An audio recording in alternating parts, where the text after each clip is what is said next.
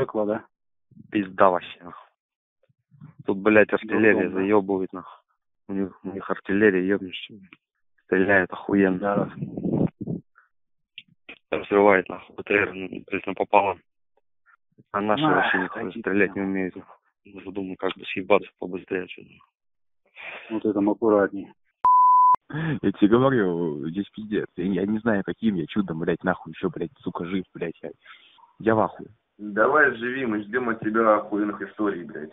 У нас людей просто нету, блядь, уже вот, как бы у нас было, как бы, блядь, по- эти 8 рот, ну, полных, по 120 человек. С 8 рот, блядь, осталось, блядь, 45. А это война артиллерийская, блядь. Грады, блядь, ураганы, смерчи, торнадо, вихри вообще не затыкаются.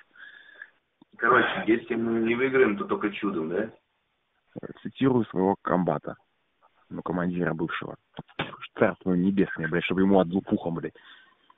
Вы идете на убой, если что, пизда других дебилов нарожает. Ну, блядь, мне кажется, его в бою свои же и завалили. Скажу так, по экипировке, по сравнению мы с хохлами, мы не то что сосем, блядь. У них у каждого ночник, у каждого тепляк.